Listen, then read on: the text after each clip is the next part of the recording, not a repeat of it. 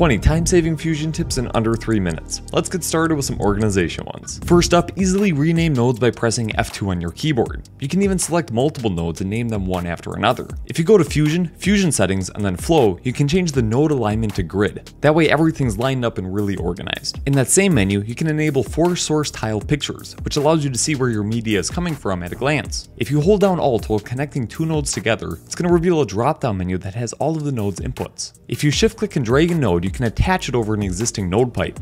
And doing the same thing in reverse will allow you to disconnect it without breaking the flow. And I have to throw it in here. Shift space, a super powerful tool that allows you to add in any node just by hitting the enter key. Huge time saver. And after the video, let me know down in the comments which tip is most useful for you. And speaking of useful, if you're on the edit page trying to access a Fusion clip that is below a different clip, simply right click on it and hit open in Fusion page. And back inside the Fusion page, smooth keyframes can be really hard to do sometimes. So here's a few tips to help with that. When you have some keyframes selected in the spline editor, press F to flatten the keyframes, S to smooth the keyframes, and T to open up the easing menu so you can fine tune the strength. You can also access these tools using the icons at the bottom, as well as the looping controls which you can use to make your animations loop indefinitely. If you're working on an intense project, right click on the playback bar and hit auto proxy.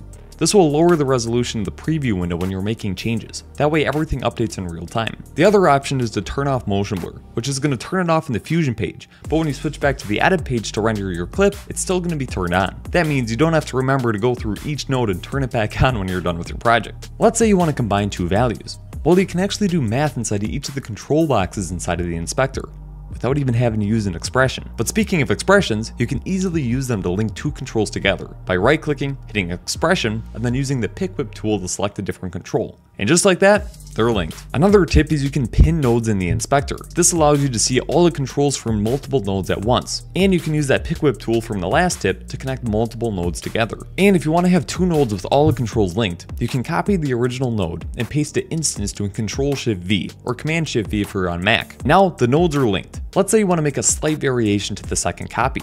You can right click on any of the controls and select Deinstance. It's going to remove the green outline from around the box, meaning it is now independent from the original copy. If you go to Workspace, Layout Presets, Fusion Presets, there's three different Fusion layouts to choose from. Mid flow and left flow are great if you have an ultra wide monitor. To see the effect a node is having on your composition, you can use split viewing. Toggle it on using the button in the top left of the viewer, and then drag two opposite nodes to the different sides of the dividing line.